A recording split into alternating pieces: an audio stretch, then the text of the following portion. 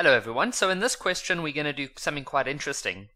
Here we have three charges. One, two, three. I should actually draw the charges. I don't know why I'm not doing that. So there's a charge there, then there's a charge here at B, and then there's a charge here at C. So this is A, this is B, and this is C.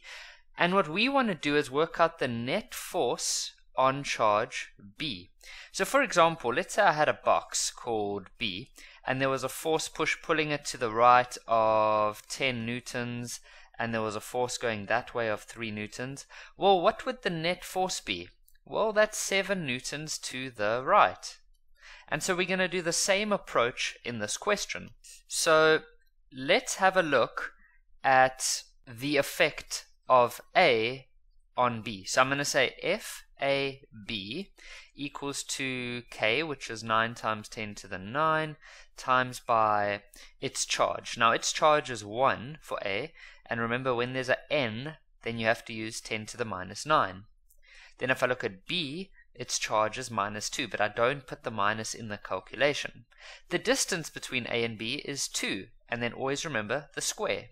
And so the force of A on B is the following. We get 4.5 newtons. Now we are looking at B. We want to know what's happening to B. So A has a charge that is positive, B has a charge that is negative. So they'll definitely attract each other. So what does that mean for B? Is B going to move left or right? Well, well done if you realize that B will move left. But Kevin, what about A?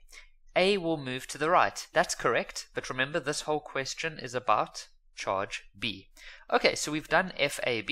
Now we need to look at the effect of C on B.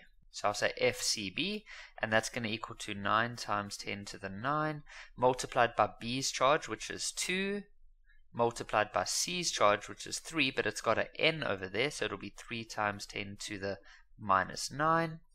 The distance between them is 1 meter, and then square. And so if you do that, you would end up with 54.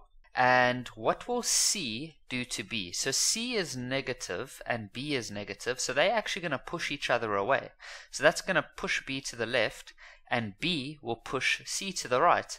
But we don't care about C because this whole question is on B. So that's going to cause B to move to the left. And so both A and C are going to cause B to move left. And so to find the net force, we can just add those two together. If they were in opposite directions, well, then we would have to do something different.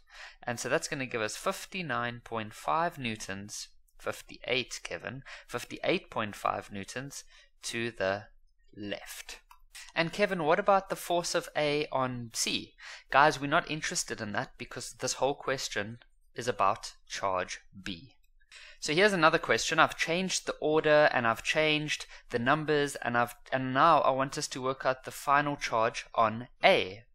So now it's on this one. So what we need to work out is how does B affect A. So let's do that first. So we can say FAB equals to K, which is 9 times 10 to the 9, multiplied by A's charge, which is 1 times 10 to the minus 9, multiplied by B's charge, which is 3. And the distance between them is 2 meters. That'll be 2 squared.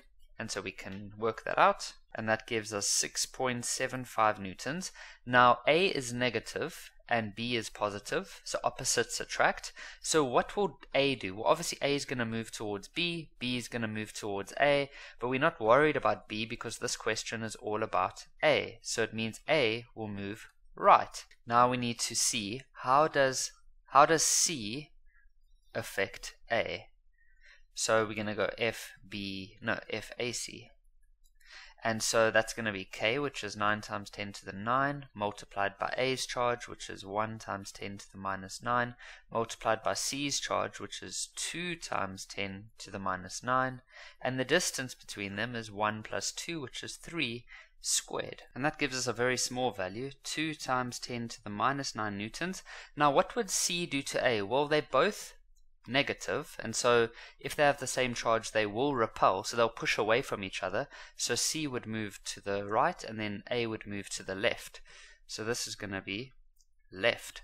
Ah, so now we have B pushing A to the right and C pushing A to the left. So what's the overall effect? Well, if I have a box being pulled 3 newtons to the right and 2 newtons to the left, the overall is 1 newton to the right, because you minus them.